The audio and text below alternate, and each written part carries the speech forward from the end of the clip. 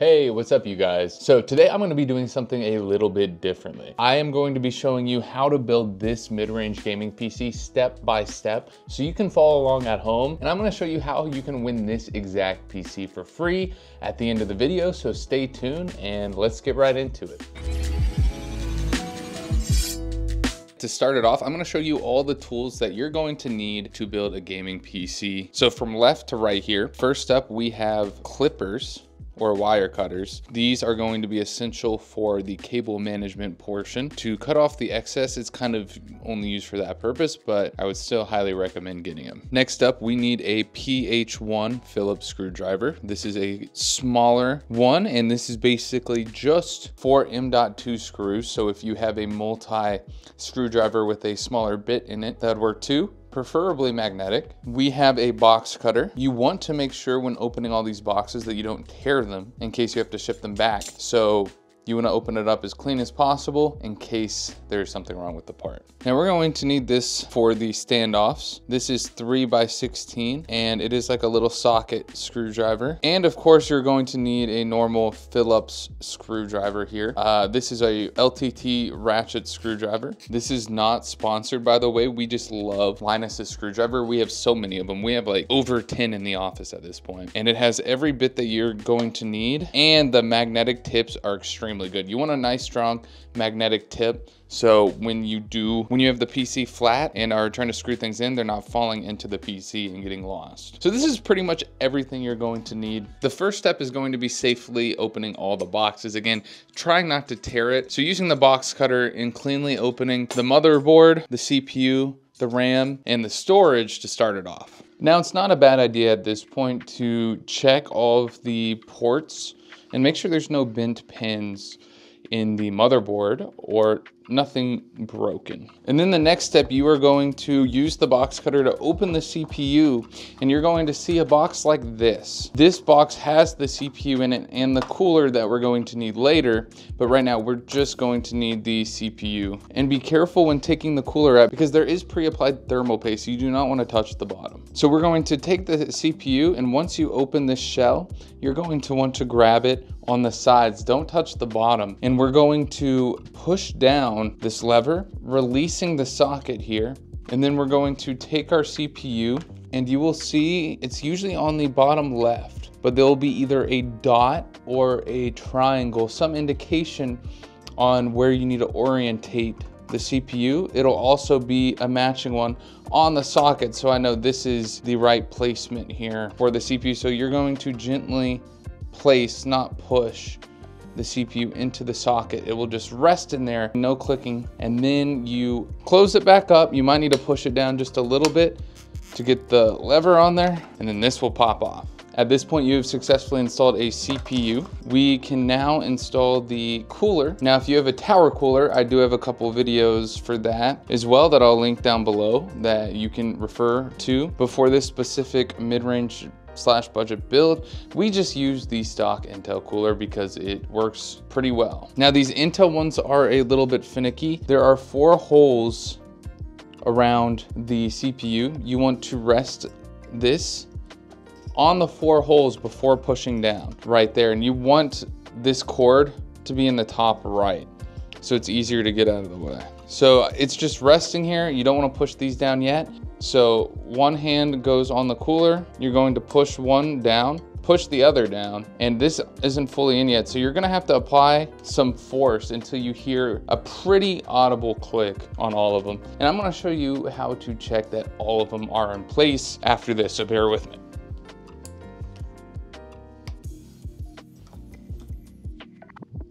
All right, once you've heard a click on all four, you are going to Place one hand and gently kind of wiggle it. Make sure it's not obviously loose. All right, next, that is the hardest part of the motherboard. The rest just click right into place. The next we're going to do the RAM. All right, next up we're going to be doing the RAM. Now you're going to count out the slots and we're gonna call this one two. You're gonna open two and then open four. The RAM can only go one way. Make sure you line up the notch on the motherboard with the notch in the RAM and push down on both sides so you hear an audible click and the other one will just follow with that. Now we just gotta install the storage. So we are going to use this top port under the armor. And this is where the PH1 comes in. This has two screws. Keep these to the side. And then we are going to take our drive, insert it on the one side and push. You wanna make sure you do hear a click. It's okay if the sticker is upside down. And then we are going to take that armor, because this will go back over it. We wanna make sure we peel and then line up on the standoffs and then we are going to put the screws back on. We have finished setting up the motherboard, so let's move on to the next step. So the next thing you wanna do is take your box cutter and unbox the PC case. All right, so there's a few things that we wanna do to prep the case. One of those being taking off the side panel, both side panels. So usually the screws can be unscrewed by hand. If not, that's what we'll use the Phillip for. And then we are going to take the panel and put it back in the box. So it's got a safe place to chill while we're building. Now you're gonna take the screws and put them back on here so we don't lose them. Because trust me, uh, we've done that before. And then you're going to do that to the other side as well. Take off the side and put the screws back on. We're going to need the little hardware it comes with. Usually it's in the bottom basement. This one comes in a nice little box here. And we are going to be looking for the standoffs we are trying to make sure there is enough standoffs in the case for our motherboard. Usually those will come in a smaller bag here with like screws and stuff. So we are looking for, I might just need to put a picture up because I don't know if I can get this tiny thing to focus. Yeah, we're looking for the standoff. So once we find them, we're going to lay the PC flat and we are going to count the holes on the motherboard and make sure there's a standoff for each one of those holes. The motherboard has three here on the left, three here in the middle, and then two here on the right. So I see three here on the left, three in the middle. We're going to need to add the two to the right, and that's what we use this for. I usually like to put it in first, and then guide it and screw.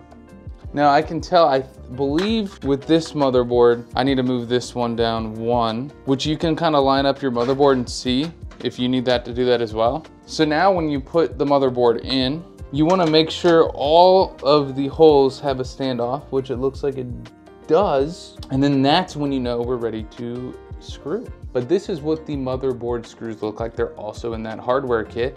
And this is where a magnetic tip screwdriver is going to be crucial so you don't keep dropping them in. But I usually like to start with the middle one here. And that just helps it line all the other holes into place. And you're going to rinse and repeat for all of them. So to avoid boring you on that, meet me at the next step. Good news is we basically assembled everything and the last stuff things that we have to do are cable and cable management. So we are going to go one at a time and it might seem daunting because there's a lot of cables, but a good amount of these we won't even need. Well, these we will, but for the motherboard, we won't. And it's a lot easier than it might look. So what you wanna first do is any bread ties that are even remotely close to the computer need to be removed immediately because they are annoying and gross and we're going to throw them away. It doesn't really matter what order you start in, as long as you go one at a time and each time you plug in a cable, make sure it's not tangled up. Just make sure everything is loose and that helps with cable management down the line too.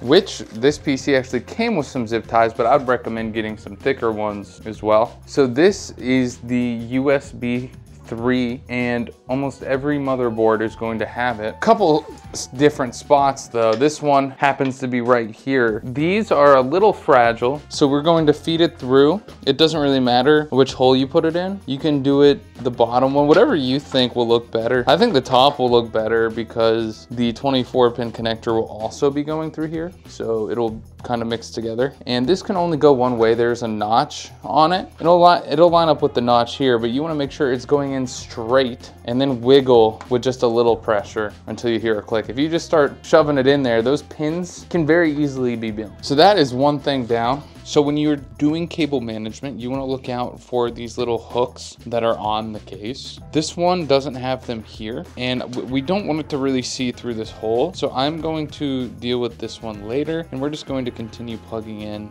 This one right here is for the USB-C to power the USB-C here on the front of the case. Now, Some other boards don't have this, but this one is right here under it. Now we can run it through this top one too, just to have all the cables running in the same spot. And then this one, I'm pretty sure it goes in either way. Yep, it just clicks right in. So now all that we have left for the case, the HD audio and then the front panel. We'll do the HD audio next. Now this is usually always in the bottom left of the motherboard. The motherboard's going to have it labeled. So you'll see, I'll, I'll try to zoom in here, but it'll be kind of hard to see. On the bottom, it'll have written out HD audio. Now this can only go in one way. You'll see there's one spot where there's not a hole and it'll match up on the motherboard. Push it in, there won't be a click on this one and then we're good. Now next up is the front panel. For this motherboard, or for this case, it looks like it is only giving us the essentials here. The power switch and the plus and minus power LED. I am going to have a chart pop up here on screen that will show you exactly how it's supposed to go. But just like the HD audio, if you flip over, it will say F panel or front panel, or it might just say panel next to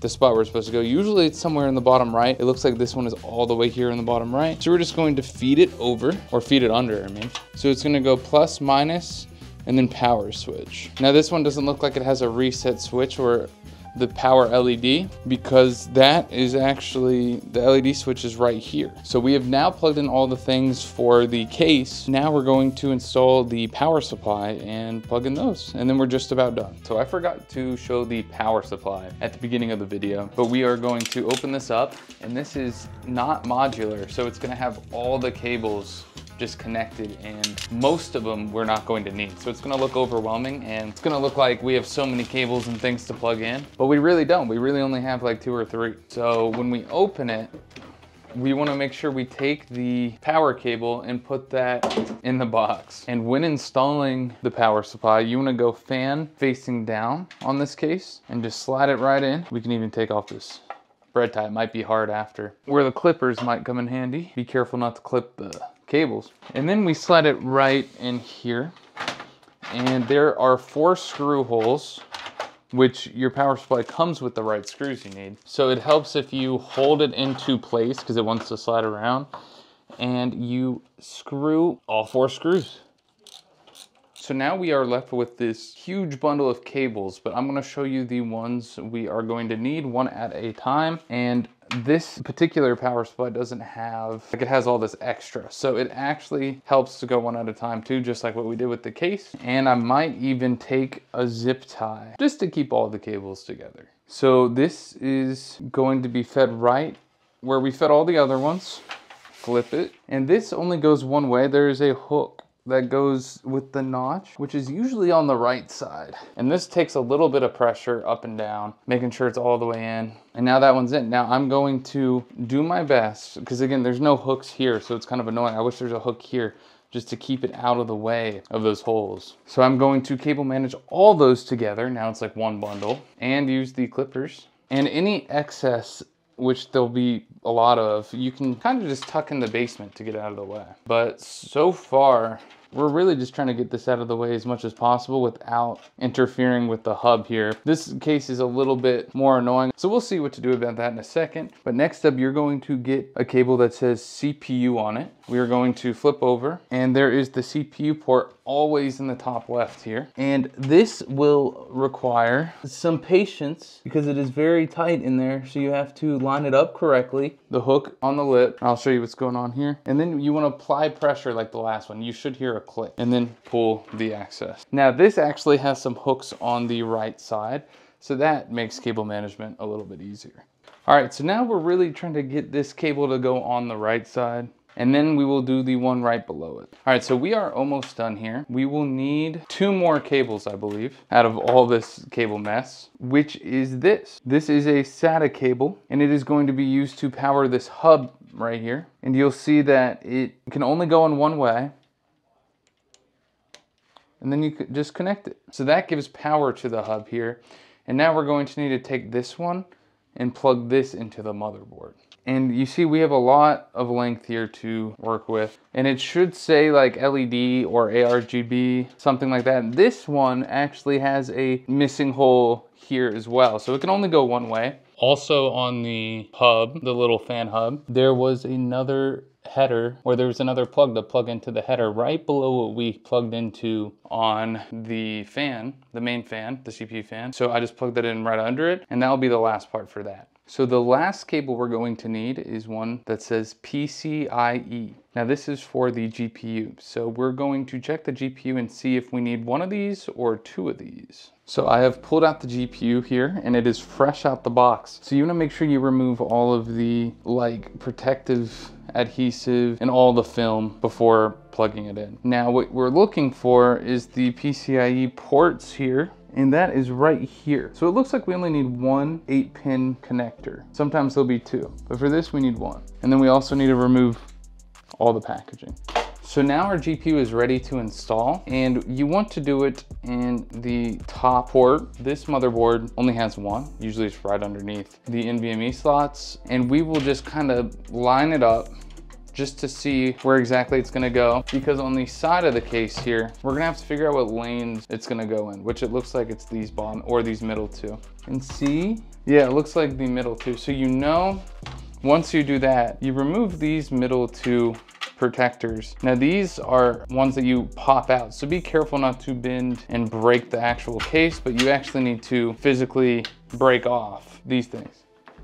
Just wiggle it back and forth and it just kind of rips off. Now you take the GPU and you slot it in and apply pressure evenly until you hear a click. Now you see it's in the right spot here. We'll close this, tighten it, and now we use a screw or two to lock it into place here on the side. But be careful not to tighten it too much because that will actually make the GPU go up, making the ports not accessible.